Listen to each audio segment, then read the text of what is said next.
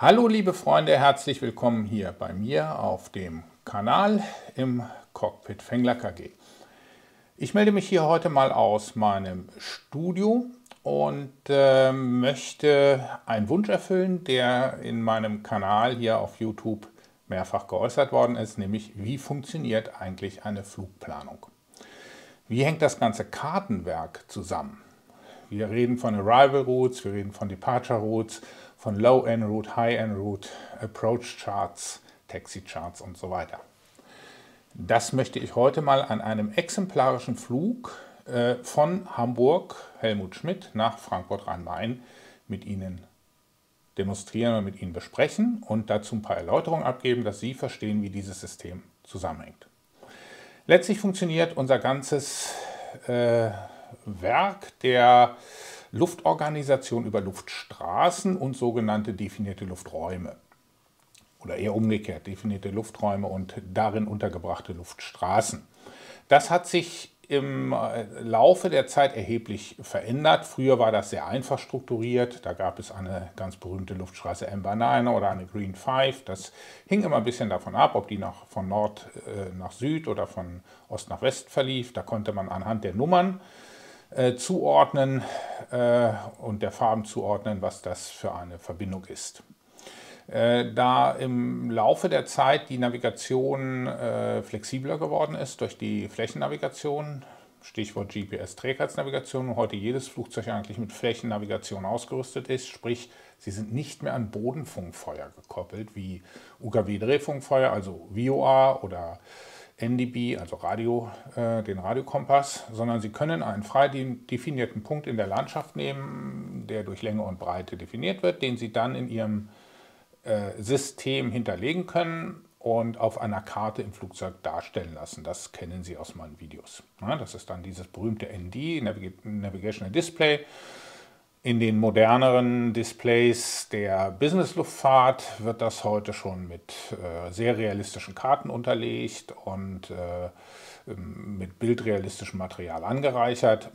Das ist in der Verkehrsluftfahrt noch nicht ganz so weit, weil man hier aufs Nummer sicher geht und es auch eigentlich nicht erforderlich ist im reinen äh, Instrumentenflugbetrieb. Sie fliegen ja immer mit einer großen Hindernisfreiheit. Das heißt, Sie haben nicht das Problem, dass Sie jetzt gucken müssen, wo Sie sind am Boden, ähm, wobei das auch kommen wird. Wir haben also die reinen Strecken dargestellt, dann bei uns im Airbus 320 zum Beispiel. Und diese Strecken sind eben anhand von Luftstraßen organisiert. Und wie muss man sich das Ganze jetzt so ein bisschen vorstellen? Sie kennen eine Autobahn, ja? Bevor ich gleich mal in so eine Kartennavigation einsteige, hier auf meinem äh, Navi-Chart, da habe ich das mal vorbereitet. Sie kennen also eine, eine, eine Autobahn. Und eine Autobahn braucht ja bekanntlich einen Autobahnzubringer ja, und eine Autobahnabfahrt. So, und so müssen Sie sich das Ganze vorstellen. Die Autobahn selber ist, wenn es eine regionale Autobahn ist, also eine Autobahn, die zum Beispiel im Ruhrgebiet läuft, wie die A44, A43, also eine zwei- oder dreistellige Autobahn, die ist dann eher regional. Äh, das ist der untere Luftraum, also die unteren Luftstraßen. Die gehen bis zu einer Flughöhe, Flugfläche 240. Was ist eine Flugfläche? Eine Flugfläche äh, wird immer auf dem Standarddruck 1013,2 Hektopascal gemessen. Und ähm, eine Flughöhe in Fuß ist dann nach dem regional eingestellten Luftdruck zu fliegen, dem sogenannten QNH. Also das ist der Luftdruck reduziert auf Meereshöhe bei 15 Grad. Den holt man sich über die entsprechenden Flugwetterinformationen, also regional an den Airports, an den großen über die sogenannte ARTIS oder Sie bekommen es vom äh, Controller mitgeteilt.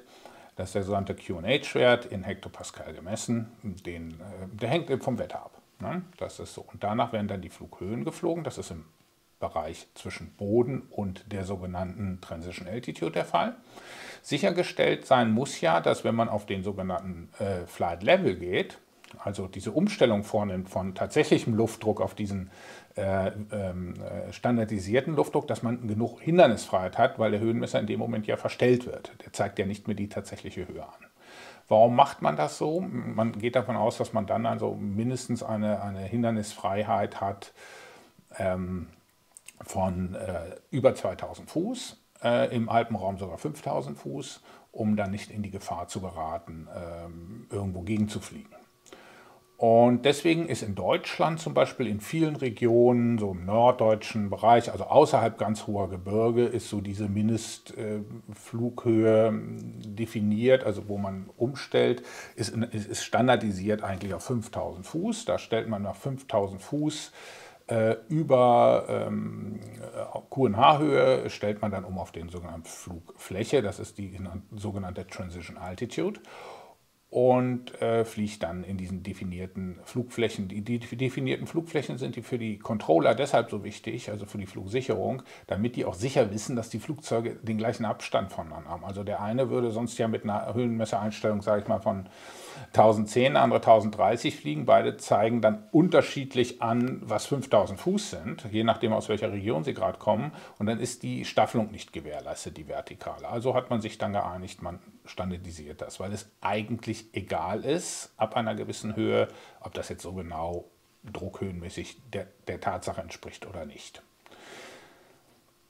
Wenn Sie im Sinkflug sich befinden, ist es genau umgekehrt. Also da beginnt die, gesunde, die Transition Level und der ist bei, in hier bei uns in Deutschland, Mitteleuropa in der Regel bei Flugfläche 70 und da beginnen Sie dann oder stellen Sie um und ähm, fliegen wieder nach QNH im Sinkflug, also Richtung Boden. Und diese Differenz dazwischen, also zwischen den 5000 Fuß Druck und den äh, Flight Level 70 ähm, Level nennt man diese Differenz dazwischen Transition Layer. Also dazwischen findet diese Umstellung statt und dort äh, findet der Steig- und Sehenflugverkehr statt und dort sind äh, entsprechende Staffelungsanforderungen auch erforderlich, dass die Flugzeuge nicht zu nah aneinander kommen, weder vertikal noch horizontal.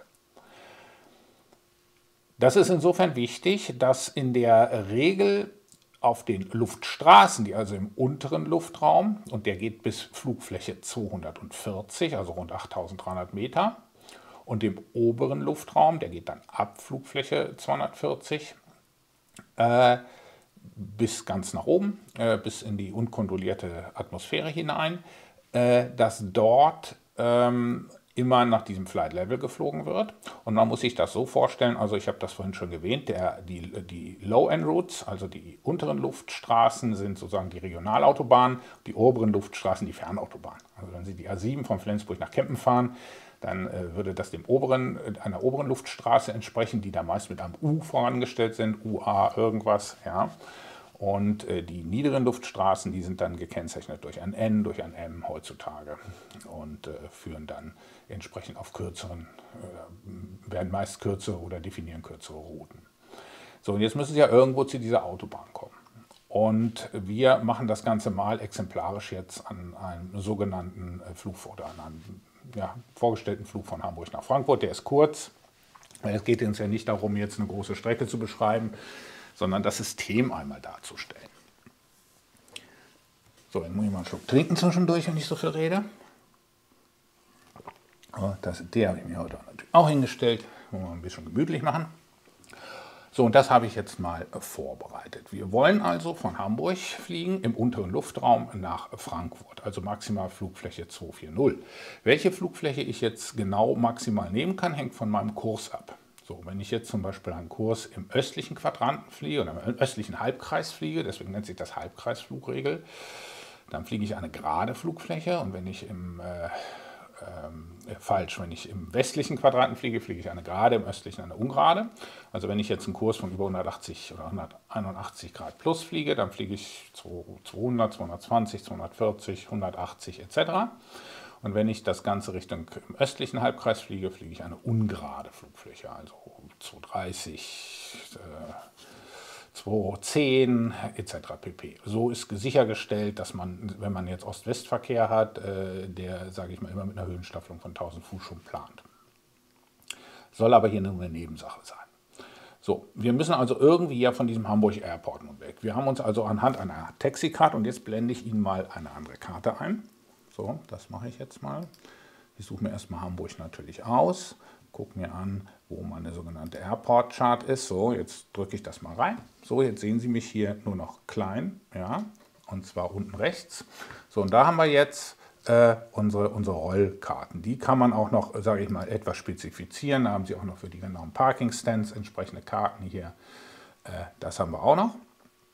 Und äh, da gibt es auch eine ganze Menge Briefings zu und so weiter und so fort. Sie sehen das hier, da gibt es noch viele Details. Je größer der Airport ist, desto mehr von diesen Karten gibt es. Also mit genauen Rollinformationen, welche Stands, welche Flächen, welche genauen Taxiwege beschrieben werden. Wir nehmen mal die Generalkarte und sagen, wir rollen jetzt hier von der Terminalanlage Richtung äh, Startbahn 2.3. Ja, dann stehen wir hier äh, an einem der beiden Starträume. Da wollen wir also Richtung Südwesten raus starten. So, wenn wir das wissen, und das hängt ja vom Wind ab, ja, wir müssen ja immer wissen, wie ist der Wind, dann würde ich meinen Flugplan dementsprechend auch nach einer solchen Abflugroute bestimmen. Es ist ja auch ein Unterschied äh, zum Beispiel, ob ich jetzt, wenn ich jetzt von Hamburg äh, nach Lüneburg fahre, fahre ich ja anders von der Autobahn, als wenn ich von äh, ähm, sage ich mal, Hannover nach Lüneburg fahre, fahre ich an einer anderen Stelle von der Autobahn. So, und das genauso muss man hier sich auch so vorstellen.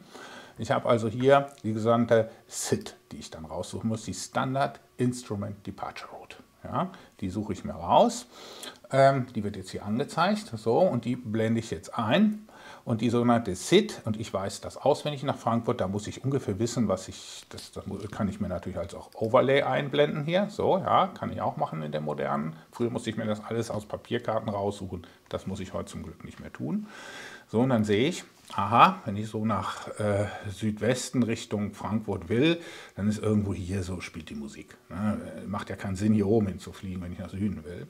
Also nehme ich hier, sage ich mal, entscheide ich mich für die Ideco 6 Charlie. Das ist auch die entsprechende und die suche ich mir dann hier aus, die Ideco 6 Charlie. So. Und dann gucke ich mal, ob das so passt. So. Und ähm, dann sehe ich, aha, super, da gibt mehrere Idekos, 6 Bravo, 6 Charlie, 7 Delta und so weiter. Das hängt eben davon ab, auf welcher Startbahn ich starte. Ne?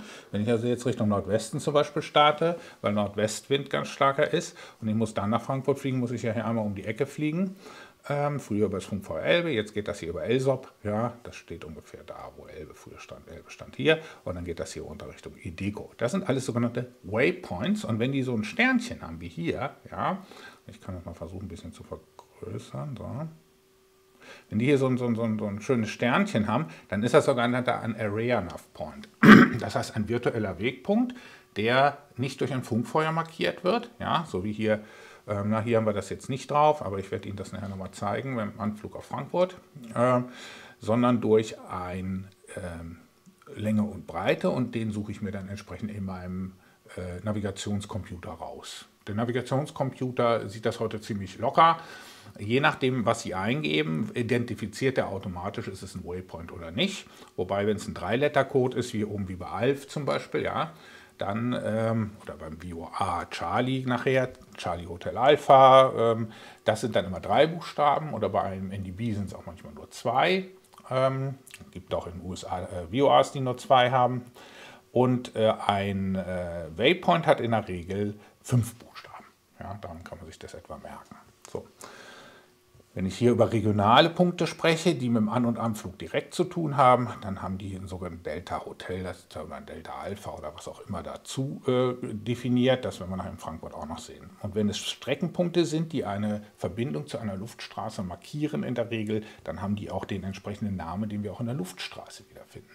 Wobei wir diese Regionalpunkte hier, die finden wir in der Luftstraße nicht wieder. Also auf der Autobahn finde ich keine Beschilderung für die, wie die Abfahrt nachher genau im Detail läuft. Aber ich muss natürlich die Autobahn Ausfahrt gekennzeichnet haben. Und die muss ich von beiden Seiten gekennzeichnet haben. Die muss ich einmal natürlich von der Auffahrt selber, wenn ich jetzt drauf fahren will, muss ich wissen, ich will zur Anschlussstelle, was weiß ich, Soltau oder so, ja, oder, oder, oder Hamburg West. Und ähm, hier muss ich also das genauso wissen. Ähm, ich will zur Anschlussstelle Ideco, ne? da, da will ich hin. So, da fliege ich jetzt hin. So, und an diese Luftstraßen sind also auch bestimmte ähm, Dinge gekoppelt. Also ich fliege jetzt ja hier 2.3 ab, machen wir ein bisschen größer. Ja, so. Also muss ich mir die Ideco äh, äh, Entschuldigung, hier ist die 2.3, das ist die 1.5, hier ist die 2.3. Ne? So, hier fliege ich ab äh, 228 der Steuerkurs und da muss ich die Ideco 6 Bravo raussuchen. So, Also habe ich IDECO 6 Bravo schon mal für meinen Flugplan definiert. Da kommen wir nachher nochmal zu, wenn ich das aufschreibe.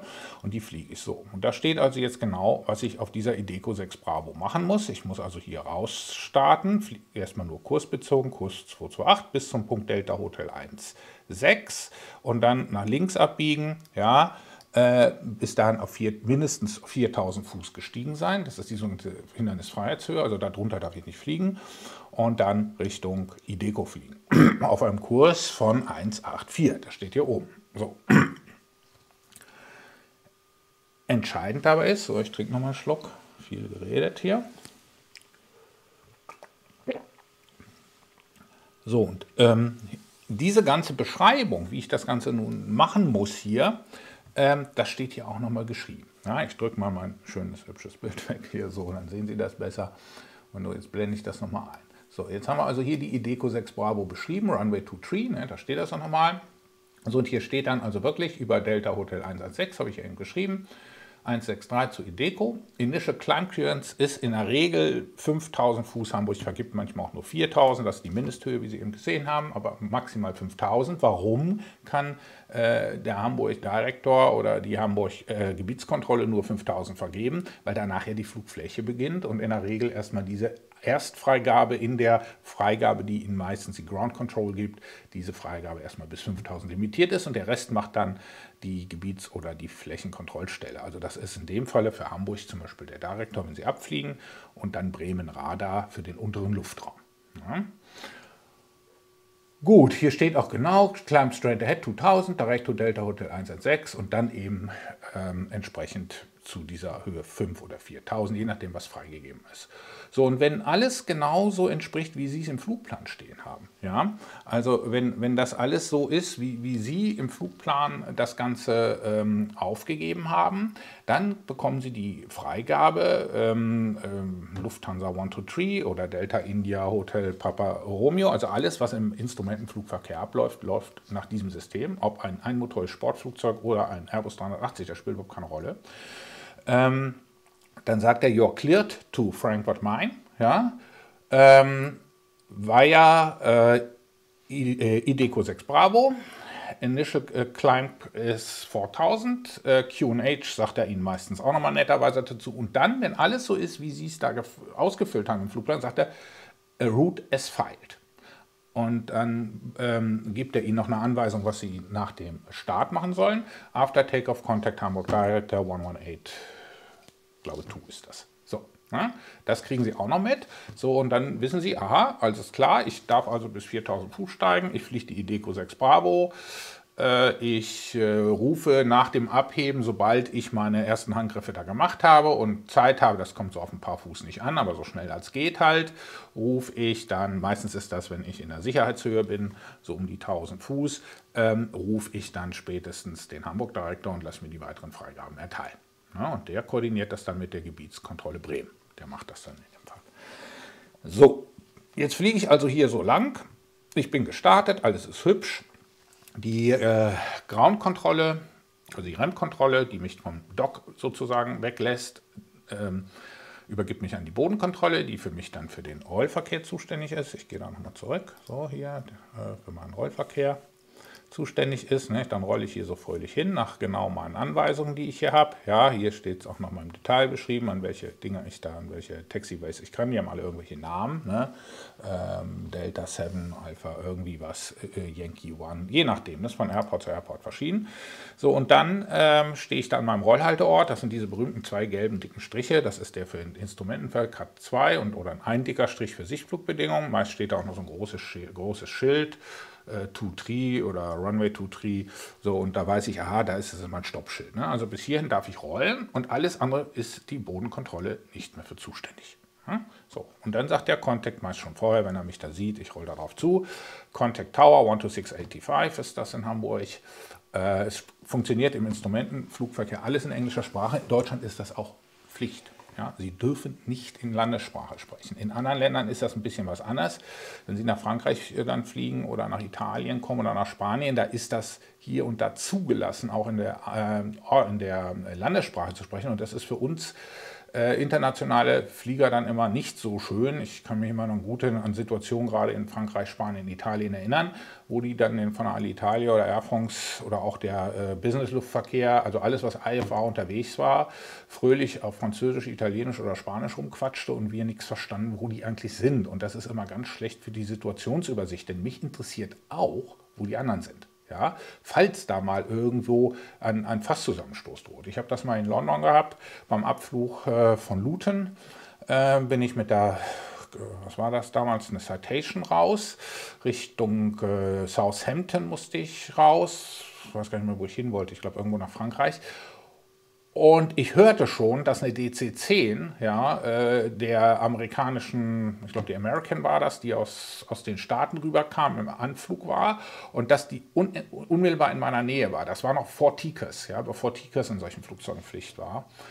Und da merkte ich schon, mir droht jetzt Ungemach. Und dann habe ich von mir aus den Controller in London angesprochen und habe gesagt, London, äh, confirm Position von American 5 to 7 oder was das war. Und dann merkte ich, wie, wie der auf einmal einen Schreck kriegte. Und dann sagte er zu mir, Delta India, Delta, äh, weiß ich nicht mehr, was wir hatten, Romeo Juliet, glaube ich, äh, turn immediately left, and uh, expedite descent to, weiß ich nicht, was das war. So, das heißt, der hat jetzt gemerkt, oh, oh, oh, er hat einen Niermiss, an, an, an, an, eine unzulässige Annäherung konstruiert, versehentlich, und hat mich dann schnell ausweichen lassen. Also deswegen ist das so wichtig, dass man das hinbekommt. Oder in Spanien habe ich mich dann mal mit einer Lufthansa und einer Iberia abgesprochen, wer nun wann in Valencia landen darf, weil der äh, Tower zu mir gesagt hat, abends offensichtlich keine Lust mehr richtig gehabt hat. Äh, you're cleared any runway you prefer. So, und das war natürlich nicht so lustig, als ich im Funk hörte, da sind noch zwei andere Kollegen im Anflug. Ja, das war dann nicht so lustig. Dann haben wir uns abgesprochen und haben dann entsprechend auch eine Meldung geschrieben hinterher, weil das fanden wir nun nicht so lustig, nicht so gut. Ja, waren Sichtflugbedingungen, war alles gut eigentlich, aber das sollte man so nicht tun. Also in Deutschland passiert das nicht oder in den USA passiert das nicht, da geht das alles äußerst korrekt zu. Aber heute passiert das, glaube ich, in diesen Ländern auch nicht mehr, wo die Lufträume so überfüllt sind. Aber so kommt das dann. Also das ist alles genau geregelt, wie was stattzufinden hat und eben auch in Deutschland Pflicht vorgeschrieben in englischer Sprache. So, jetzt haben wir einen kleinen Abschweif. Also wir sind jetzt hier gestartet auf der Startbahn 23. Wir befinden uns jetzt hier auf unserer Standard Arrival Route. Ähm, was hatte ich gesagt? Was haben wir genommen? IDECO. Ne? IDECO, die suche ich mir dann nochmal raus hier irgendwo. IDECO. Jetzt finde ich die nicht wieder. Was habe ich denn jetzt gemacht? Da, äh, nee, ist ja Quatsch, ich muss ja auf die Departure Route gehen. So, IDECO, so hier war ich, ne? So und, und fliege jetzt hier fröhlich lang. So, ich habe mittlerweile meinen äh, Bremen Area Control hier irgendwo gerufen. Ich wurde übergeben. Ich habe eine Steigflugfreigabe auf Flugfläche 240 bekommen. Das war das, was ich im Flugplan mir gewünscht habe. Das habe ich eingetragen. Die maximale Flughöhe für den unteren Luftraum wollte ich haben. Mehr lohnt sich für Frankfurt in der Regel nicht, selbst für einen Airbus nicht. Also auch mit dem Verkehrsflieger bin ich, wenn ich solche Routen geflogen bin, auch immer im unteren Luftraum an der Grenze rumgeflogen ist, lohnt sich einfach nicht so hoch zu steigen. Das ist sonst ein Parabelflug, den sie da machen und mit unheimlich administrativem Aufwand verbunden und x-mal die Frequenz wechseln. Da habe ich gesagt, das letzte Mal.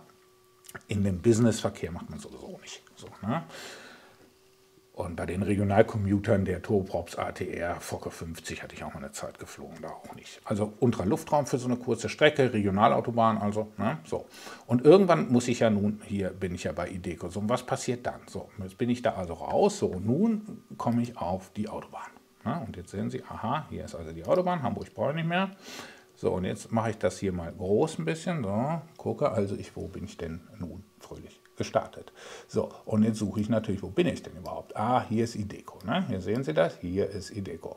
So, und Ideco existiert also nicht mehr auf dieser Standard Instrument Departure Route Ideco 6 äh, Bravo in meinem Fall, sondern es existiert, das ist ja ein sogenannter Übergabepunkt auch, auf der entsprechenden Luftstraße äh, November 850. Ja, da ist sie da eingezeichnet. So, und das heißt, meine erste Route, die ich fliege nach Frankfurt am Main, die ich definiere, ist die November 850. So, und da die kein Pfeil hat, so wie hier, ja, und beide Seiten sozusagen, dass so ein Quader ist, ja, auch hier ist auch so ein Pfeil, ist die keine Einbahnstraße. Ne? Also das hier zum Beispiel ist eine Einbahnstraße, das ist auch eine, die darf man nur nach Norden fliegen, aber diese Route darf ich in beide Richtungen fliegen. So, und an dieser Route steht dann aber auch dran, ja, hier Mindestflughöhe ist 4000 Fuß vorgeschrieben, wegen Hindernisfreiheit. Ja, also tiefer darf ich nach Instrumenten auf dieser Luftstraße nicht fliegen. Sonst erfasst mich das Radar nicht, ich bin nicht hindernisfrei etc. pp. Spielt bei mir jetzt keine Rolle. Ich bin ja auf Flugfläche 240 unterwegs, so schön fröhlich im Steigflug. Ne? Mit maximal möglicher Rate, schön ökonomisch das Ganze. Ja, das spielt heute eine große Rolle. Hier und bin jetzt bei Ideco und fliege jetzt nach Süden. So, und Sie sehen, mein nächster Fix, ähm, der ist äh, hier, hier steht die Entfernungsangabe zum nächsten Fix, ja, und es steht natürlich immer der Kurs noch dabei, das ist 184, ich fliege auf so eine gerade Flughöhe, 240. 22 äh, Meilen und der nächste Fix ist Nienburg Viewer. So, und hier sehen Sie, dieser Punkt ist schon wieder anders definiert. Ja, also der hat eine Frequenz, das ist nämlich ein klassisches UKW-Drehfunkfeuer. Und das unterscheidet jetzt mein Navigationscomputer insofern, dass ich hier auch in meiner Radnav-Seite dann die Frequenz nochmal gesondert wählen kann. In der Regel wird sie mir auch reingezogen und ich kann dann meine VUR und ADF-Schalter im Panel das habe ich Ihnen schon mal gezeigt. Die kann ich dann äh, sozusagen einblenden und kann dann sogenannte so, so, so Richtungsanzeiger mir einblenden lassen. Äh, so Magnetic Indicators nennt sich das. Und die zeigen mir dann zum Funkfeuer und dann weiß ich, aha, diese Nadel zeigt dann auch im Idealfall zu diesem Funkfeuer direkt nach vorne. Wenn gar kein Wind wäre, würde das auch mit dem Kurs 184 übereinstimmen.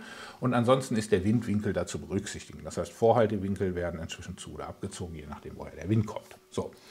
Und nun fliege ich da fröhlich nach Nienburg auf der Frequenz 11650. Das ist so eine klassische UKW-Frequenz. Ne, die ganzen Funkfeuer so und fliege da fröhlich runter. So. Ne. Ähm, nun muss ich ja sehen, dass ich so, der nächste Punkt ist Robeck. Ne? Robeck ist wieder ein äh, virtueller Punkt. Ja? Die schon auch immer gegeben. Robeck ist schon sehr alt, den hat schon 90er Jahren gegeben. Ja, und der ist definiert, wenn ich jetzt nichts anderes habe als äh, äh Funkfeuernavigation, dann ist der mit Abstand und ähm, radial, also 168, 24 Meilen definiert. Heute brauche ich mir den Stress nicht mehr machen. Ähm, ich brauche mir also keine Querpeilung ziehen, weil Nienburg hat kein Entfernungsmesser dran, kein DMI wie Leine. Eine Leine hat so D noch dran, das weiß ich, das hat auch ein Entfernungsmesser, ein DMI. So, sondern ich habe das auf meinem Flächennavigationscomputer angezeigt, wann ich nun Robeck habe. Und dann fliege ich weiter nach Pirot. So, immer irgendwo, wo Luftstraßen kreuzen, in irgendeiner Form, habe ich irgendeinen Fix, ne, wo irgendwas verändert werden kann. So, und dieser Fix ist hier wieder Pirot, ist wieder ein Flächennavigationspunkt und nachträglich dann auch mal definiert, der nicht durch Peilung oder so etwas, äh, Kreuzpeilung klar definiert werden kann. Hier sehen wir nämlich, Robeck kann durch Osnabrück VOA, das Terminal VOA ist das, ne, T, also ein Kurzreichweiten-VOA, war früher auch mal ein großes, OSN gibt es auch nicht mehr. So, und das große VOA-Leine entsprechend äh, gepeilt werden. Also ich habe hier durch eine klare Kreuzpeilung eine Definition. Das habe ich bei Pirot nicht mehr. Pirot steht irgendwo vor einer Landschaft. Ne? Deswegen hier wieder so ein, so ein komischer Stern dran. Hier so ein, ne? Genau, so ein Flächenpunkt. So, und dann fliege ich früh weiter. So, und jetzt muss ich mich aber irgendwann mal entscheiden und sagen, ja, ich muss jetzt mir schon mal früher den Shell-Atlas. Ne? Früher habe ich mir den Shell-Atlas gekauft oder den großen Faltplan für Deutschland und habe gesagt, wo musst du eigentlich lang, wenn du nach München willst? Dann habe ich mir gesagt, aha, fährst also erstmal die A7 runter bis hinter Kassel, dann das Hattenbacher Dreieck und dann musst du die äh, Fuldaer Autobahn bis nach Würzburg fahren und dann fährst du die, die 5 oder die, nee, weiter die 7 und dann fährst du also fröhlich auf der A8, ähm, glaube ich, ist das, oder 3 und dann 8 runter nach München. Und diese Übersicht muss ich hier auch haben. Das heißt, ich muss wissen, und heute macht das der Computer. Heute gebe ich nur Start, Flughafen, Zielflughafen ein und sage, lieber Computer, Planungsprogramm, plan mir das. Oder in der Verkehrsluftfahrt macht das sogar der Dispatcher für Sie. Der gibt Ihnen eigentlich die Streckenempfehlung vor. Da brauchen Sie nicht im Kopf haben, wo Sie langfliegen. Sie müssen sich das aber durchaus angucken. Es kann ja sein, dass durch irgendwelche Umstände Sie diese Route nicht fliegen können, nachher Wetter technische Umstände etc. pp., dass Sie die Übersicht haben. So, und ich weiß also, wenn ich jetzt also auf der November 850 weiterfliege, komme ich nicht nach Frankfurt. Weil die hat keine Autobahnabfahrt nach Frankfurt-Rhein-Main. Ne? So, sondern ich muss eine sogenannte ähm, ähm, Terminalroute fliegen, die T152 hier. Die geht auch nur nach Süden, das sehen Sie ja.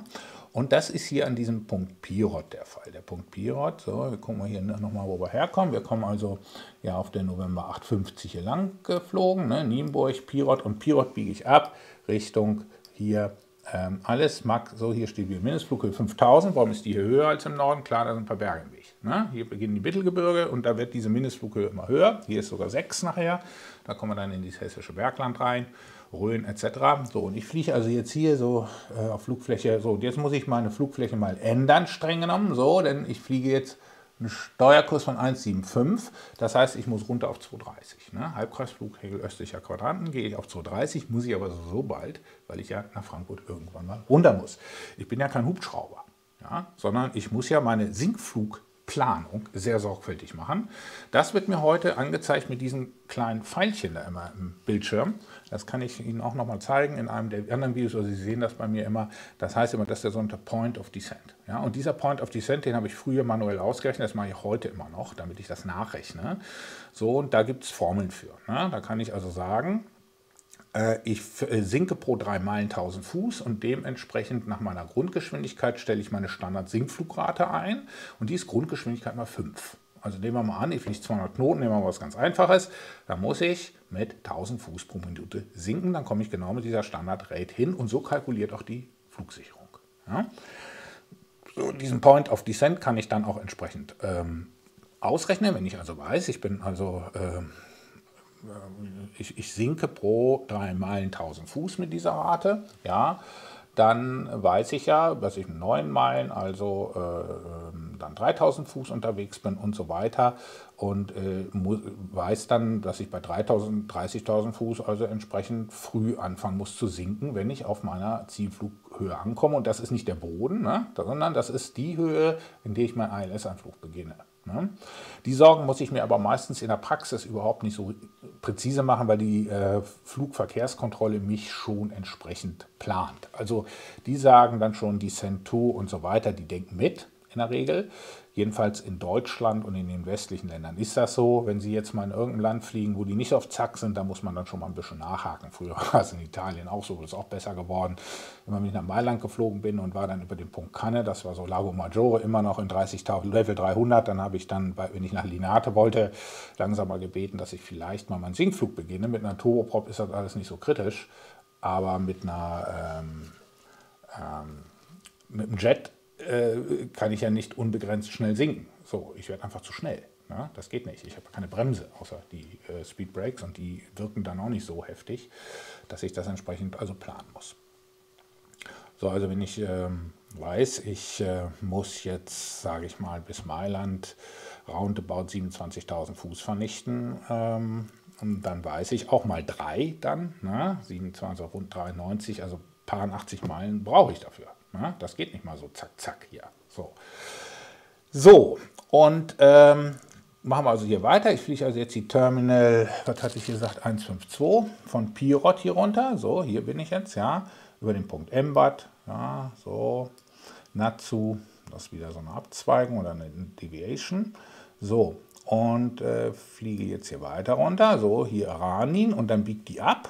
Ja, diese Route, und geht dann Richtung Fulda Funkfeuer. Da haben wir wieder FOL, das ist wieder ein, ein DMI-VOA, ja, äh, wo, wo, ein DMI mit einer Rolle spielt. Ich schalte ihn mal mal Bild weg, dann haben Sie die ganze Karte.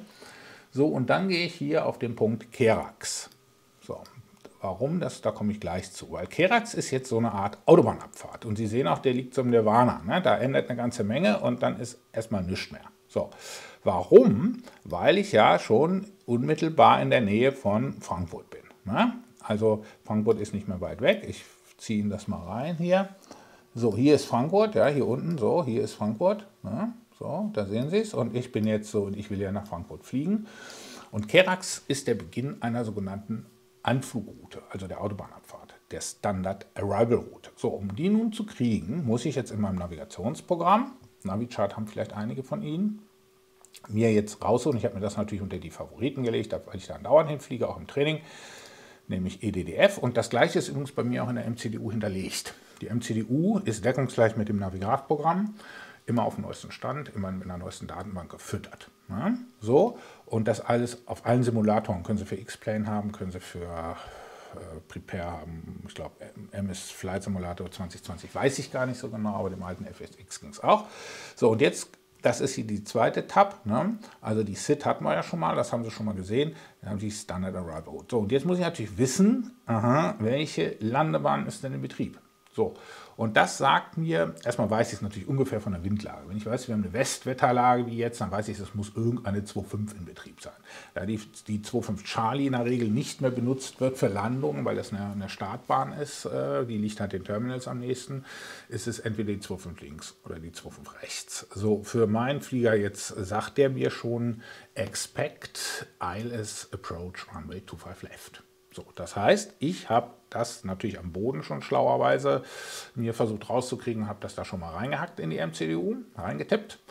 Und äh, wenn ich das jetzt nochmal ändern muss, muss ich das halt ändern. Dann muss ich halt mein, mein Arrival nochmal ändern. Das ist dann EDDF und dann steht da immer eine Zahl hinter. 25R, 25L, 25C. Das haben Sie in der MCDU bei mir im MCDU äh, auch schon gesehen. So, und dann, ähm, hier stehen nochmal ein paar Airport-Daten, ne, was die Runway-Lengths ist und so weiter die maximale, also rund 4000 Meter.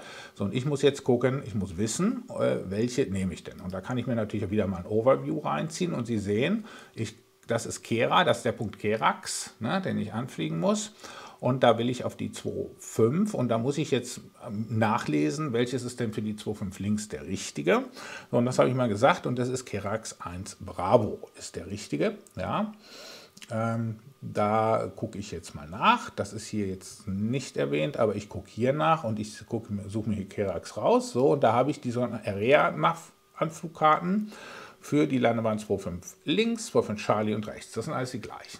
Ne? Weil das für Frankfurt egal ist, liegen alle parallel. Und ich will ja jetzt nicht einen Präzisionsanflug über die Autobahnabfahrt machen, ja, sondern das kommt ja nachher über die äh, Anflugkarte, über die Approach Chart. Also ich sage mal, die Ortsdurchfahrt nachher mache ich ja mit dem Stadtplan ne? und nicht mit der, nicht mit der, mit der großen Gebietskarte. So, und äh, jetzt bin ich also auf meiner, hier sehen Sie, Kerax unterwegs und ich mache es jetzt mal einfach, ja. Ähm, ich fliege jetzt mal nicht hier das Zickzack hier, was man fliegt. Wenn man so in Frankfurt anfliegt, fliegt man ja erstmal so eine kleine, äh, äh, sag ich mal, ähm, äh, Taunusroute da, eine kleine Besichtigung. Ja, nein, äh, ich habe es ja mal gut heute, nicht? Ist ja Corona und es ist nicht los. So, äh, und fliege hier lang Richtung Charlie VOA. Denn Charlie VOA ist, und das steht hier auch, IAF bei ATC, ja, Initial Approach Fix bei ATC. Das heißt, ATC weist mich an, dass das mein Initial Approach Fix ist, wenn er mir diese Route äh, geben will. Es sei denn, ich bekomme gleich eine Anflugfreigabe, äh, die kürzer ist und das ist in der Praxis, läuft das nicht so.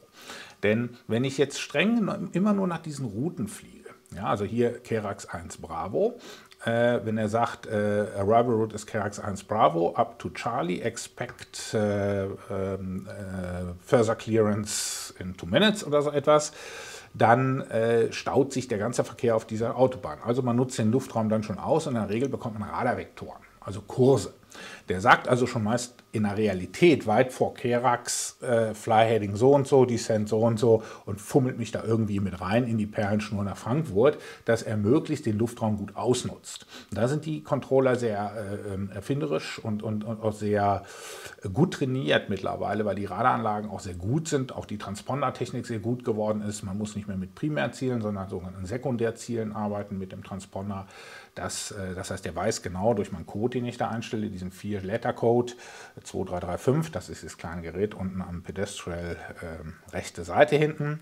Ähm, dann habe, hat er meine Flughöhe, dann hat er, also Mode Charlie, dann hat er genau meine Position und meine Geschwindigkeit alles angezeigt. So, und meine Flugnummer. Ne? Der weiß, wer ich bin. Das ist ein synthetisches Radarbild, nennt man das. Ja? Und um diesen Luftraum optimal zu nutzen, denn wir haben heutzutage eine Überfüllung des Luftraums. Wir, die ganzen 2018er Verspätungen, ein Großteil davon ist nicht dadurch zustande gekommen, dass irgendein technisches Problem im Flugzeug da beim Wetter, sondern einfach eine Überfüllung des Luftraums. Kleiner Schluck Tee. Sie brauchen deshalb auch immer Slots. Ne? Sie müssen deshalb immer sogenannte Abflug- und Anflugzeiten bekommen, die Sie auch möglichst genau einhalten müssen, damit sie planbar werden. So, Sie können ja einfach sagen, ich fliege jetzt mal los. Und dann sagt der Niet. Also ich habe es damals schon, ähm, jetzt vor wenigen Jahren in London, da habe ich mal vier Stunden auf so ein Ding gewartet, auf so ein Slot. Da musste ich kurzfristig raus. Äh, in City, ja, vier Stunden Wartezeit. Auf den Slot, weil der Luftraum einfach London abgehend und angehend total überfüllt war. Er passte keiner mehr rein. So, und das hat 2018 zu gravierenden Verspätungen geführt. Sie können sich vorstellen, wenn morgens das passiert bei einem Flugzeug, was im Umlauf ist, was drei, vier Destinations anfliegt am Tag, ja, dann ist die Verspätung einprogrammiert. Und wenn dann keine Reservemaschinen bereitstehen, die ergänzt werden können, ähm, dann ist Essig. Dann hat der ganzen Tag ist dann Verspätung. So, oft passiert das dann zweimal am Tag, dann ist abends so richtig Verspätung. Ja, also wenn Sie jetzt abends noch mit der letzten Maschine nach Hause wollen von München oder Frankfurt, dann kann das sein, dass wenn das so an der Grenze zu diesen Landeverbotszeiten äh, ist, in Hamburg oder so, dann kommt es immer auf die Airline an, gönnt die sich den Spaß oder nicht. Denn wenn Sie in so einer äh, verbotenen Landeuhrzeit, äh, äh, also ab 23 Uhr in Hamburg landen, dann wird es richtig teuer. Ja? Und viele äh, Billig-Charter-Airlines, die sagen, nö, machen wir nicht dann fliegen wir entweder gar nicht ab, dann lassen wir nochmal die Leute übernachten da, wo sie gerade sind, oder wir landen irgendwo anders und dann fahren die Bus. Ja, das ist dann so eine Abwägungssache. Deswegen immer ein Plan, so mache ich das zum Beispiel, nehme die letzte Maschine. Also Risiko ist mir, wenn ich dringend nach Hause muss, das ist mir einfach zu groß. Oder ich übernachte gleich nochmal ja, und sage, fliegst du am Morgen entspannt. Oder best, am besten sind immer die Spätvormittags- und Mittagsmaschinen, da ist am wenigsten los. Das hat man jetzt aber in den 19, 1919 besser in den Griff bekommen. Und das ist auch ein bisschen, äh, sag ich mal, dem Crew Resource Management der gesamten Luftfahrt Operation geschuldet. Mittlerweile ist es ja auch, dass die ähm, ganze Flugsicherung an diesem ganzen äh, äh, ähm, Führungsmodell teilnimmt. Da hat es nämlich die sogenannten Luftfahrtgipfel gegeben, die haben meist in Hamburg jetzt stattgefunden, da setzen sich dann alle mal an einen Tisch. Flugverkehrskontrollstellen, die Airports, die Airline-Chefs und sagen so, wie lösen wir denn jetzt mal das Problem? Na, wie kriegen wir das Ganze in den Griff, dass wir hier nicht ständig dem Plan hinterherfliegen? Und da hat es dann ein Bündel von Maßnahmen gegeben 2018. Ich glaube, die haben zwei, drei Sitzungen gehabt. Äh, das läuft alles völlig harmonisch ab. Da werden unterschiedliche Standpunkte ausgetauscht. Man weiß, wie man nach diesem Crew-Resource Management richtig miteinander umgeht. Und hat dann Maßnahmenbündel beschlossen, was auch 2019 erhebliche Wirkung hatte. Das ist auf Airline-Seite gewesen, dass man einfach die Ground Times ein bisschen verlängert hat äh, bei den Kurz- und Mittelstrecken. Man hat äh, die Slots-Politik ein bisschen verändert, die Übergaben ein bisschen anders organisiert und hat den Luftraum einfach noch ein bisschen zugänglicher gemacht. Ja? Denn oft ist er nur organisatorisch blockiert, gar nicht tatsächlich. So, aber wir sind nun weiter hier auf der Standard Arrival Route, also der Autobahnabfahrt. So, die Autobahnabfahrt nach Frankfurt, Kerax haben wir. So, Kerax, äh, was hatte ich gesagt? 1 Bravo, denn ich gucke mir heraus äh, und hier kann ich mir das nochmal genau angucken, wo, wie die läuft. Hier steht genau die Route nochmal beschrieben, aber ich sehe es an sich auch hier. Ne? Und hier sind wir also ist über den Punkt EPIPA, das ist wieder so ein Area-Nav-Punkt, geht dann über den Regionalpunkt Delta Fox 617 und das alles in, ist in ihrer CDU oder MCDU auch dargestellt. Und diese Punkte sind dann oben im ähm, äh, PFD, äh, äh, Entschuldigung, im ND auch entsprechend eingeblendet, immer oben in den Ecken. Da sehen Sie immer da oben rechts äh, im ND, äh, ähm, also im Navigational Display, äh, wo Sie gerade hinfliegen, wie viele Meilen das noch sind. So, und sie sind natürlich die ganze Zeit dann im Descent gewesen. Ne? Sie müssen da ja, ne, Sinkflug hatten wir gesagt, muss geplant werden.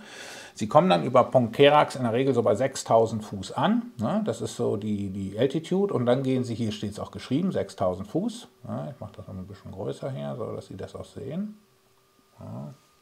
Momento prego. So, und jetzt fliegen wir runter äh, hier sind auch die Distance, dann sinken wir weiter auf 5000. Wir müssen ja immer tiefer. Ne? Die Initial Altitude für Frankfurt ist 4. Wir fliegen in so ein Becken ein. Ne? Also wir kommen aus den Bergen in so ein Becken, deswegen kann man immer weiter runter. Hier ist es schon 3, ne? ist alles nicht mehr so hoch. Und fliegen dann, sagen wir mal, idealerweise heute ist wirklich Standard mal. Wir wollen Standard fliegen nach Charlie VOA, auch wieder ein D VOA. Ne? So. Und da drehe ich dann, äh, wenn ich jetzt sofort zum Anflug freigebe, bekomme ich gleich meine Freigabe zu meinem ähm, ähm, Approach Fix für das ILS. Wenn ich warten muss, dann sind hier sogenannte Holding Patterns eingezeichnet. Also die gehen hier rechts rum, ne? hier auch wieder, mit einem sogenannten Outbound und Inbound Track. Und je nachdem, ob ich das nun muss oder nicht, muss ich ein sogenanntes Holding Entry fliegen. Und dieses Holding Entry, das hängt davon ab, mit welchem Kurs ich ankomme. Ja, es gibt drei Holding Entry Procedures, äh, Direct, Teardrop und Opposite. Und je nachdem, wie ich da reinfliege, muss ich mich dann, das kann ich mit so einem Holding-Rechner entscheiden. Ich habe da so einen kleinen Jeppesen Schieberechner. Mittlerweile weiß ich das auch auswendig alles. Nach 14.000 Stunden weiß man das. Äh, und fliege dann meine Holdings, kommt aber in der Praxis relativ selten vor. Meist lässt der einen dann nochmal in der Praxis ein bisschen ausholen irgendwo hin. Ne? Oder macht eine Speed Restriction rein. Das kann man natürlich auch wunderbar heute machen. Sie kriegen häufig eine Speed Restriction und deswegen auch, es, es war mal die Frage aufgekommen, ja, wieso fliegen Sie denn nicht managed alles? Ja, klar, kann ich machen, wenn alles nach Plan läuft. Ne? Aber wir sind ja kein Wunschkonzert. In der Regel sagt die Flugsicherung, durch überfüllte Lufträume, Staus und so, Speed Restriction, äh, weiß nicht, 230. In den USA war das so, da war ich dann noch 100 Meilen weg von Washington, da hatte ich schon Speed Restriction 230. Ja, da schon, oder Minimum Clean heißt, das ist die knapp über Green Dot, so, so langsam wie es ohne Klappen geht. Heißt das, ja, muss ich fliegen, weil ich eben einen Stau, auf ein Stauende zufliege. Sie kennen das mit dem Auto, da brettert man ja auch nicht mit 250 an den Stau ran. Ne? sondern da reduziert man vorher auch und da der Controller sowas hier sieht und weiß, sagt er ihm das dann auch. Und deswegen kommen auch die Wartezeiten manchmal zustande, dass man hier über Frankfurt noch so, sage ich mal, wenn man ganz groß Pech hat, morgens so in den, in den Rush-Hours äh, ohne Corona, krebsen sie auch schon mal 20 Minuten rum. Und das muss man alles bei seiner Fuel Calculation natürlich mit reingeben. Denn im Low, in, äh, Low Altitude, ich fliege ja dann hier schon, ich bin ja Transition Level, Flugfläche 70, ne, habe ich mal umgestellt, mein Höhenmesser, Schraub, Schraub auf QNH. Das habe ich wiederum von der Flugsicherung bekommen, äh, regionales QNH. Das Frankfurter QNH kriege ich durch die sogenannte ARTIS und die hat einen Buchstaben, Information Papa, Delta, Alpha, je nachdem. Und das teile ich meinem Anflugcontroller nachher auch mit, Information Papa. Ja, dann weiß der, ich habe meine Aerodrome Terminal Information Service abgehört mit dem Wetter. Das hören Sie bei mir im Simulator auch immer, die kann ich auch einspielen, die aktuelle. Und dann weiß der, aha, der hat das aktuelle Wetter, das brauche ich dem nicht nochmal runterbeten. So, und äh, allerdings machen die Controller das in der Regel auch nochmal ein bisschen nach Geschmäckle. Die geben ihnen das QNH und natürlich der Tower nachher auch nochmal. Wenn Wind äh, sehr variabel oder Shearing ist oder sie strahlende Winde, böige Winde haben, dann gibt ihr ihnen den Wind ab und zu nochmal freiwillig. Ne? Oder sie erfragen den. So, und also ich fliege Charlie. Ich nehme an, ich muss jetzt hier keine großen ähm, Umwege fliegen. So, und dann so kurz vor Charlie gucke ich, mir jetzt meine äh, sozusagen äh, äh, Ortskarte an. Ne? Also das ist jetzt die sogenannte äh, äh, ähm, äh, ja, die, der Stadtplan. Ne? Den Stadtplan hole ich mir jetzt raus und sage, wie komme ich denn nun genau in die Straße XYZ zur Hausnummer so und so. So, und meine Hausnummer so und so lautet ja hier, ähm, ich sag mal, Amselweg 4 ist bei mir die 25 links. Ne? Und dann suche ich mir raus, was nehmen wir denn heute mal? Will ich jetzt einen Area-Nav-Anflug machen? Will ich einen ähm, ähm, ein, einen Mikrowellenanflug machen, äh, Cut 2 oder 3. Nee, ich habe mal ganz normales Standardwetter, 200 Fuß äh, Minima, also ganz normal der übliche ALS will ich mal. Ne? So, also ziehe ich mir meine ALS-Karte rauf. Hier und da steht dann der ganze Rest drin. Ne, was ich so machen muss. Hier stehen meine ganzen Frequenzen drin. Und das ist auch immer das, was ich dann abgleiche. Das habe ich ja alles eingestellt bei Landing System. Zum Beispiel habe ich jetzt meine 111.15 da drin stehen für meinen äh, ILS Glidesloop, hier ist es auch nochmal drin. Das ist ein ILS DMI, das heißt, ich habe da auch ein DMI dran gekoppelt. Das heißt, ich habe eine Entfernungsmessung Richtung Schwelle. Das ist ein großer Vorteil für mich. Weiß immer genau, weit, wie weit ich weg bin. Ich weiß, dass ich mein Initial, äh, ähm, ähm, mein, mein ähm, ILS Approach beginne bei Letki hier, ja, 4000 Fuß. Das ist dieser Punkt hier, Letki, da habe ich ihn nochmal, ja. Und äh, es ist jetzt hier nicht Initial Approach Fix, sondern es ist der äh, ähm, Point of Descent, der, der Radar, der Fix für das Erreichen des ALS hier. Ja. Ähm, es äh, ist in den meisten Airports ist es auch der Initial Approach Fix, nur in Frankfurt ist das hier in dem Falle Charlie. Das liegt ein bisschen daran, weil diese Lufträume sehr voll sind und hier ein bisschen weiträumiger geplant wird. Aber in, in Hamburg zum Beispiel ist, ist äh, wenn Sie jetzt die 2.3 anfliegen, ist das ja... Ähm, ja, jetzt habe ich vergessen, wie der heißt. Äh, äh, ja, fällt mir wieder ein. Da steht dann immer IAF mit dran, ne, Initial Approach Facts. Hier ist das also nicht der Fall. Hier haben wir das also ein bisschen anders. Das ist LEDKey, ist aber für mich der entsprechende Punkt, wo ich mein ILS beginne. In, so, ich kann dann also Charlie äh, Hotel habe ich, sage ich mal, 5000 erreicht. Ich sinke auf 4000 Fuß Kunha, äh, fliege Kurs 339 im Idealfalle, schwenke bei 11 Meilen Distance Charlie, schwenke ich ein, Richtung 248 und dann merke ich auch, wie mein Localizer einläuft. Das ist dann, wo ich dann, sage ich mal, hier so spätestens den Approach-Button drücke. Das heißt, wenn ich mit so einem scharfen Winkel hier reingehe, fliege ich meist so bis 30 Grad Intercept per äh, Heading Mode oder im NAV, um dann den Anflug nicht zu schaukelig zu machen, ne? um die Kurve nicht zu scharf machen. In der Regel gibt einem der Controller schon Vektors, die ein bisschen flacher sind, damit das ein bisschen komfortabler für die Passagiere wird ne? und nicht da gleich 90 Grad um die Ecke hier. So, Ein Idealintercept fürs ALS, ich muss nochmal einen Schluck trinken. Ähm, nochmal ein Bild, so. Einen schönen Früchtetee. Äh, der ideale Intercept ist 30 Grad. Ne, so lernen Sie das eigentlich. Aber das ist eben Theorie. In der Praxis kann es auch schon mal ein bisschen schärfer um die Ecke gehen. So, hier haben Sie dann Ihre Anflugkonfiguration. Hier schon Flaps 1, alles draußen. Hier gehe ich schon runter auf, wenn ich jetzt keine Restrictions habe, gar nichts und ich kann völlig so nach Wunschkonzert fliegen und ich will es entspannt haben. Kein Highspeed, kein gar nichts. Bin ich mit dem Airbus 320 runter auf die 160 in der Regel, so um das Landegewicht 60 Tonnen rum, so Pi mal Daumen. Habe das alles schon eingestellt und äh, mache jetzt hier meinen Approach, drücke in der Regel meinen Approach-Button rein und der zieht sich dann hier den Localizer zuerst und dann den Gleitsloop. Wichtig ist, dass Sie immer vorher da reinkommen. Warum? Man darf niemals den Gleitsloop vor dem Localizer capturen. Warum nicht? Weil Sie dann nicht in einem hindernisfreien Raum sind. Denn Sie beginnen ja in dem Moment einen Sinkflug und sind noch nicht auf der Sollroute. Und das ist hindernisfreiheitstechnisch nicht genehmigt. Deswegen sind die Dinger so programmiert, auch die Computer, dass Sie immer erst den Localizer intercepten müssen. Bitte, wenn Sie auch sich selber Vektors geben, denken Sie daran und dann den Gleitsloop. Ja, dann geht erst der Gleitsloop. So, also idealerweise komme ich dann so sage ich, eine Meile oder anderthalb oder zwei vor diesem Gleitsloop Intercept raus. Dann steht er also noch ein bisschen oben. Ne? Das ist ein Kommandogerät. Ne? So, also ich fliege flieg da rein. Der läuft von oben ein, also er darf niemals von unten einlaufen, ne? immer von oben. So, und dann äh, Flaps 2 und ich gehe in der Regel so mit 160 hier rein und Sie sehen, in der Regel liegt der Punkt so, hier ist es 11,3 Meilen vor der Schwelle. Ähm, ich sag mal so bummelig 10 Meilen sind das immer plus minus. Das hängt ein bisschen von der Schwellenhöhe ab.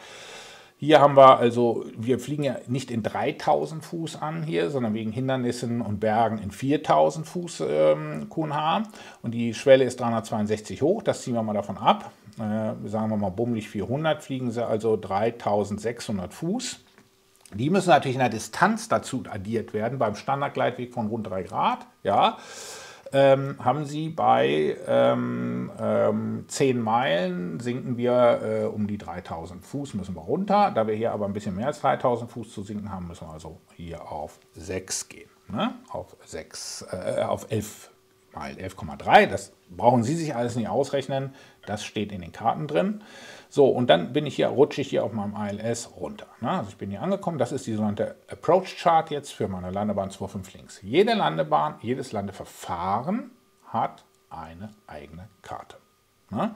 Sie haben also hier in, in, Frankfurt diverse verschiedene Karten für diese Verfahren, für jede Landebahn einzeln designiert. Ähm, ich glaube, eine Non-Precision hat der hier gar nicht mehr. Nee. Das sind alles, äh, doch, diese Radio Navigation äh, Cards, die sind, äh, glaube ich, non, die sind non-precision, ja. Aber es gibt ja auch welche, die, wo sie einen VOR-DMI-Anflug oder einen NDB-Approach machen können, wie Westerland zum Beispiel, ne, wo das nicht so komfortabel ist. Aber in Frankfurt ist das alles nicht mehr der Fall. So, und dann äh, schieben Sie hier runter, schön Ihren ALS lang und der ist hier nochmal beschrieben, hier ne, in dem genauen Profil. Hier stehen auch Ihre Speeds mit der entsprechenden Sinkrate bei 3 Grad, die Sie haben. Ne? Und ich sage mal, nehmen wir mal an, Sie sind über Ground so 160, wie ich eben gesagt habe, dann müssen Sie, wissen Sie, also Sie müssen 849 Fuß pro Minute sinken, um diese 3 Grad zu fliegen. Das ist die Formel, die ich Ihnen vorhin auch nochmal gesagt habe. Jetzt nehmen Sie mal Ground Speed mal 5. Ne? Also nehmen wir an, die Ground Speed ist 160, mal 5 sind 500, sind rund 800 Fuß. Ne? Also passt ungefähr. Ne? So. Das sind die Faustformeln, die man immer im Kopf haben muss bei solchen Nummern. Genauso wie es Faustformel für, den, für, den, äh, für die Schräglage gibt, bei welcher Geschwindigkeit Sie Standard Turn fliegen, also 2 Minuten Turn. Anderes Thema. So, und dann, ähm, wann, hier, wenn Sie jetzt, wenn der, wenn der Anflugcontroller, also die Hamburg, äh, na, das ist hier Frankfurt Director in der Regel, also hier die oben die 11850 das, oder die 12728, sicher ist, hier ist auch nur die ARTIS, ne, welche Wetterinformationen Sie kriegen, äh, wenn der jetzt sicher ist, Sie äh, sind auf dem richtigen Kurs, dann sagt er, you're cleared, äh, ILS 25 left, contact tower on äh, 119905. Das, dann übergibt der Director Sie an den Tower und Sie rufen un, unmittelbar nach den Tower. Das ist ja im Zwei-Piloten-Cockpit, äh, wird das dann, macht einer den Funk, der andere fliegt. Einer ist Pilot Flying, der andere Pilot Monitoring, der arbeitet zu. Ähm, wenn Sie alleine sind, müssen Sie das alles alleine machen. Ne? Dann muss man sich anders organisieren, ein bisschen vorausschauen auch noch fliegen. Ich bin viel alleine, auch in der Realität viel alleine unterwegs gewesen, auch mit Business Jets. Und wenn Sie dann eine Citation fliegen, dann ist das im Prinzip, oder eine Falcon 2000, wie ich das auch gemacht habe, dann ist das eigentlich, gut, die durfte ich nicht alleine fliegen, aber die Citation durfte ich alleine fliegen oder eine King Air 350, dann ist das Jacke wie Hose, ob Sie da einen Airbus haben oder eine 350er äh, King Air oder eine Citation. Äh, äh, ähm, die sind so fix unterwegs, die Dinger, äh, das ist wie ein Airbus. Ja? Da, müssen Sie, da müssen Sie anders drauf sein. Da müssen Sie sich auch anders organisieren im Cockpit, wenn Sie alles alleine machen. Sehr viel vorausplaner, vorausschauender fliegen und gegebenenfalls auch mal die Flugsicherung einbremsen, wenn es Ihnen zu schnell geht. Na? Da muss man dann schon mal sagen, äh, äh, Standby. Ne? For a moment. Und, ähm, oder give me, give me, give me a minute äh, holding oder irgendwas. Wenn Sie da irgendein Problem zu lösen haben, ähm, dann müssen Sie das kommunizieren. Das ist ganz wichtig. Und nicht einfach vor sich hin wursteln. Irgendwann fliegt die Maschine hinweg und dann haben Sie ein Problem. So.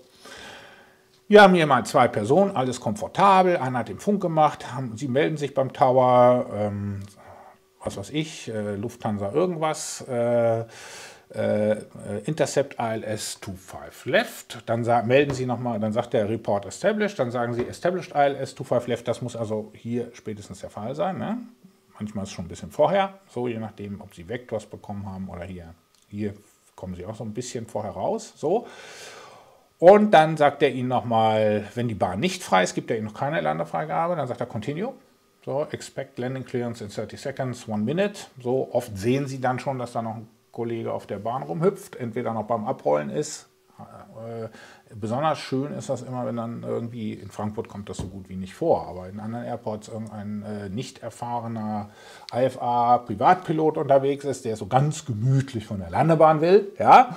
Äh, ich habe das in Münster, Osnabrück ein paar Mal gehabt oder in Bremen und sie dann mit ihrem Jet im Anflug sind und das Ding kommt, die Schwelle kommt immer näher und irgendwo sind sie am Mr. Approach Point. Und dieser Mr. Approach Point ist hier bei einem Standard LS bei 200 Fuß über Grund. Da ist Ende Gelände. Ja, so. Und wenn der Junge da nicht vom Hof ist, ja, oder der Controller sich vertan hat und jemand zum Frei Start freigegeben hat, der noch nicht in die Pötte gekommen ist, weil der hier auf der Schwelle gerade mal festgestellt hat, sein Kaffee muss immer richtig gerückt werden. Einmal hat das einen seriösen Grund, ja. Ähm, oder er ist noch nicht so weit, das ist auch wieder bei Privat- oder Businessfliegern manchmal, die nicht so routiniert sind, äh, dann stehen die da ja, und kommen nicht weg und dann haben sie die Staffelung nicht und dann kann es schon mal sein, dass sie einen Overshoot machen müssen, durchstarten. So, und jetzt sage ich mal, sie stehen da mit ihrer 152er Cessna oder 172er Cessna, IFA und wollen los und ähm, haben das sich jetzt mal gegönnt, äh, die 1000 oder 2000 Euro in Frankfurt, die sie da abdrücken müssen, wenn sie da fliegen und stehen da auf der Piste und kommen nicht in eine Pötte und da startet eine 320 durch, weil die nicht, also der ist richtig begeistert. Ja, weil wir da reden wir die 1000 Euro Scheine in den Bach untergehen, ne, wenn der da nochmal anfliegen muss. Ne? Da sind mal 20 Minuten im Eimer. So, Minimum. Ne? So, deswegen ist das ganz wichtig, dass der Controller das im Griff hat und dass der dann gegebenenfalls dem auch mal Beine macht und sagt Expedite oder Cleared for Immediate Takeoff.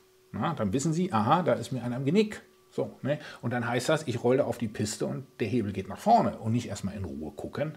Ja? Also das sind alles so Dinge, die Sie mit planen müssen. Also so ein Controller, der hat ähm, mindestens eine genauso hohe Verantwortung wie der Flugkapitän selber oder die Besatzung selber.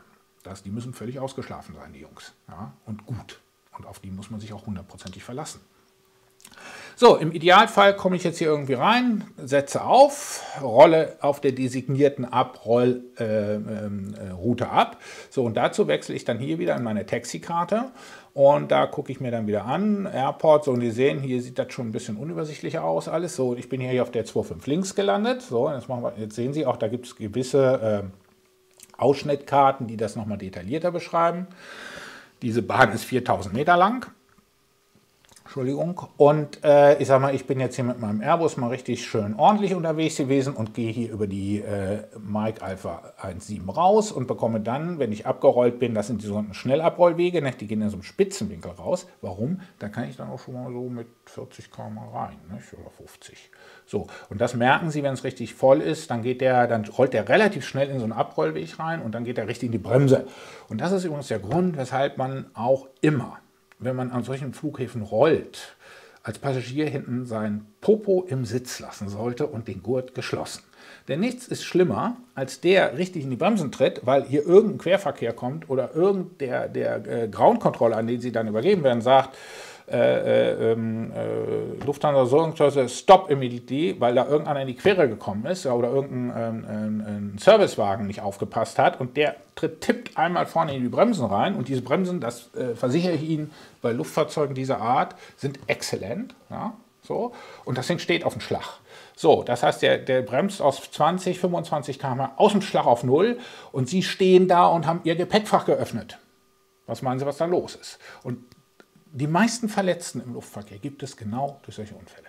Nicht durch irgendwas anderes, sondern dass irgendeinem irgendwas ins Kreuz fällt oder irgendeiner sich lang macht da. So. Und dann haben sie den Salat. Das reicht, wenn sie dem anderen irgendwie dumm äh, äh, äh, auf den Schoß fallen oder dem Ellbogen ins Gesicht drücken oder so. Das muss nicht sein. Also sitzen bleiben, angeschnallt bleiben, bis das Flugzeug die Abstellposition erreicht hat. Und erst wenn das der Fall ist und die fasten Seatbeltzeit ausgehen, macht man sich vom Acker. Ne? Es ist noch niemand drin geblieben und alle verlassen das Flugzeug erst, wenn die Tür aufgeht. So, also ganz wichtig auch für die Urlaubsflieger, Charterflieger. Denn hier auf diesen Taxiways ist Traffic, da ist richtig was los. Ja, da ist was los. Und da ist äh, wie auf der Autostraße auch oder in der Innenstadt, da wird, muss auch schon mal scharf gebremst werden. Und Sie kommen auch nicht äh, auf die Idee, wenn Sie jetzt nach Hamburg reinkommen und sagen, oh ja, ich bin ja in der Amsingstraße oder ich fahre jetzt über Schnellsund rein und bin ja schon fast da, schneide ich mich schon mal ab und fange schon mal an, das Auto aufzuräumen. Kein Mensch kommt hier auf die Idee, sondern sie fahren in ihrer Garage, schneiden sich ab und gehen dann. Aber im Flugzeug ist das irgendwie nicht üblich. So, deswegen unendlich wichtig. Nochmal ein Appell. So, und dann rollen sie über Ground mit ihren designierten Routen zum Gate. Dann müssen sie sich halt ausgucken, wo sie jetzt untergebracht werden. In Frankfurt ist das natürlich hier, nehmen wir mal, wir nehmen mal so ein A3 oder hier so ein so ein Parking-Stand-Beispiel hier. So, und dann kriegen Sie so eine designierte Parkposition. Wenn Sie jetzt einen größeren Flieger in der 380er haben, dann, dann müssen das auch bestimmte Gates sein. Oder sie kriegen eine Außenposition zugewiesen, ne? das kann auch mal sein. Ne? Das hängt immer, äh, so hier darf man zum Beispiel jetzt mit der 380 nicht unbedingt immer rumparken. Mhm. Die General Aviation ist übrigens hier umgebracht, im ehemaligen ähm, ähm, militärischen Bereich, oder ist immer noch der militärische Bereich. Da war ich oft unterwegs, wenn ich jetzt in Frankfurt zu tun hatte, aber kostet richtig Schotter. Also damals war das schon so um die 1000 Mark, später jetzt so liegen sie so schon mal bei ganz schön über 2000 Euro, wenn sie damit im ganzen leichten Auto landen. Deswegen weicht auch der Luftverkehr häufig, äh, der Business-Luftverkehr, der allgemeine Luftverkehr häufig nach Egelsbach aus. Nur Egelsbach ist nicht instrumentiert richtig, also der hat andere Minimaß, wenn er überhaupt instrumentenmäßig angeflogen werden darf. Ich weiß das gar nicht, ob das mittlerweile zugelassen ist ging bisher nur nach Sicht. Äh, deswegen muss man dann im Zweifelsfall doch nach Frankfurt. Oder ich, was ich oft gemacht habe, ist in Frankfurt dann ein Low Approach IFA, so ein ILS bis zum, Mini, oder bis zum VFA-Minimum, äh, 600 Fuß über Grund und dann eben links rüber nach Egelsbach. Ne? Auch eine Möglichkeit. So, das also zur ganzen Geschichte. So, und damit Sie das jetzt nochmal, damit wir das nochmal nachvollziehen und rekapitulieren, tippen wir das Ganze jetzt nochmal so flugplanmäßig in den Flugplan, jedenfalls nur die Route, nicht die Flughöhen und alles, das, das verzichte ich mal. Und dazu wechsle ich hier mal in meine in mein anderes Tab rein. So, und jetzt tippen wir das mal ein. Also wir sind gestartet auf der Startbahn 2.3. Also wir fliegen, fangen wir mal so an, EDDH, EDDF, Starten tun wir auf der 2.3, ne? Startbahn 2.3. Dann haben wir gesagt IDECO, ne? IDECO, Sie erinnern sich, äh, das war die Autobahn, der Autobahnzubringer, ne? IDECO 6 Bravo. Und dann sind wir da geflogen in äh, 5000 Fuß. Ne? Ähm, bis zur Luft, Luftstraßenkreuz-Ideco und das kreuzt sich oder ist die Autobahnauffahrt zur Autobahn oder Low End Route äh, äh, untere Luftstraße November 850. 0850. So, das tippen wir auch ein. So ungefähr. Ups. Das kommt davon. Ich kann nicht. Ähm, so. Blind schreiben kann ich nicht. So. Ähm, November 850. So ungefähr tippe ich das auch im Flugplan ein. Muss ich heute auch alles nicht mehr selber machen, macht mein Programm. Das heißt, wenn ich meine Routeplanung habe, schmeißt mir das den Flugplan raus. Wir damals mussten das immer noch machen in den so bis zum Jahr 2000 pinselte ich fröhlich. Nee, da hatte ich auch schon ein Programm, aber mal, bis Mitte der 90er pinselte ich das fröhlich in so ein Durchschreibdings und faxe das dann im Idealfall zum äh, RS, Aeronautical Information Service, und der hat das dann reingehakt. Tipp, tipp, tipp, tipp. So. Also, ich habe hier die Rups, die 850. So, und jetzt äh, sage ich, äh, das geht genau so lange bis zum Punkt Pirot. Ne? Das ist ein Autobahnkreuz, Pirot. Ne? nächster Punkt. Und dann musste ich ja wechseln auf die Terminalroute 152. Sie erinnern sich, die Einbahnstraße nach Süden, so, ja, die also Regionalautobahn, die mich, die Zubringerautobahn nach Frankfurt, ja, 662 oder wie die da alle heißen, so kann ich dann fahren. Und äh, habe auch meine Flughöhe gewechselt von 240, weil ich ja äh, über 180 Grad geflogen bin, jetzt auf unter auf 230, wenn denn der Controller das so will, ja, oder das so genehmigt ist. Manchmal wird davon abgewichen. Äh, dann gibt er Ihnen eine. So, und dann habe ich gesagt, ich fliege mal ganz normal Standard. Also ich fliege die Anflugroute Kera. Dieser Kerax, Punkt zum Punkt Kerax, deswegen heißt die Kerax 1 Bravo. 1 Bravo deshalb, weil ich ja auf die äh, mache das mal in Klammern dahinter, würde man nicht im Flugplan sagen, 2,5 links will. Ne? Das war ja mein Ziel, auf die 2,5 links. So, und dass Sie sich das merken können. So, und das Ganze endet dann am Punkt Charlie, also am Funkfeuer Charlie, CH. Und äh, da beginne ich jetzt mein ILS. 2, 5 left. Das schreibe ich so nicht in den Flugplan rein, der endet bei Charlie. Ja, und dann äh, fliege ich über LEDKey, für Sie aber zum Nachvollziehen, dass Sie wissen, wie Sie fliegen müssen. Das ist mein Point, wo ich das, Inters, das ILS intercepte. Es ist in dem Falle nicht der Initial Approach Fix, sondern der Initial Approach Fix, der war ja hier bei Charlie. Ne? So, da beginnt also mein Anflug so, und lande dann auf der 2.5 links. So würde das also diese Route jetzt aussehen geplant. Ne? So, und ich sage mal so, ich habe noch zwei Dinge. Ich, ich fliege in den Reiseflughöhen 240 und F, das ist für Flight Level 230. So, wenn ich jetzt eine Flughöhe fliege, wie zum Beispiel sage ich, ich fliege die jetzt bei der IDECO, ja, und ich kriege da eine Flughöhe, dann nehme ich Altitude 4000, so wird das dann angezeigt. Ne, so schreibe ich mir das auf, A4000 und so schreibe ich, so tipp mal weg. Im Flugplan kommt das nicht rein, aber wenn ich mir jetzt Dinge Routfreigaben aufschreibe, dann schreibe ich, oder ich schreibe nur eine 4000 hin, dann weiß ich, es ist eine Flughöhe in Fuß. Oder ich schreibe F240 hin, dann weiß ich, es ist eine Flugfläche, die ich freigegeben bekommen habe. Ne? So. Ja, so sieht das aus, meine Damen und Herren. Und ich hoffe, das war für Sie äh, verständlich und einigermaßen mal ein, ein Einblick, wie sowas funktioniert jetzt auf einer kurzen Strecke. Im Prinzip funktioniert das auf der Langstrecke genauso, wenn Sie im oberen Luftraum fliegen. Ich kann Ihnen noch mal spaßeshalber so eine obere Luftraumkarte kurz zeigen, dass Sie die einmal sehen. Dazu machen wir hier wieder zu. Also ich habe ein Abo hier für dieses äh, Navigraph. So, und jetzt suche ich mir hier aus High-End-Route. So, und jetzt kann ich hier, sehen Sie, in Frankfurt gibt es natürlich auch viele High-End-Routes, die drüber gehen. So, und die haben dann das ist ein bisschen großzügiger, aber auch schon ziemlich dicht, dieses Luftstraßennetz. Ja, und die haben dann meist so ein U hier davor. Aber auch da gibt es Terminal Routes, auch da kann ich fliegen. Das lohnt sich bloß für Frankfurt nicht. Wenn ich jetzt nach München fliege von Hamburg, da kann ich schon eine obere Luftraum benutzen. Das heißt, ich aus ökonomischen Gründen gehe ich über die 240 und fliege dann, äh, sage ich mal, in dem Luftraum irgendwo zwischen Level 290 und 330 äh, aus ökonomischen Gründen rum. Aber für Frankfurt lohnt sich das nicht. So, das jetzt ein ganz kurzer Abriss, nicht mit allen Details, die es gibt, aber mit den wesentlichen Details zum äh, Flugplan- und Luftstraßensystem weltweit. Das funktioniert auf der ganzen Welt im Prinzip gleich. Das heißt, diese Anflugkarten sehen in den USA genauso aus wie hier.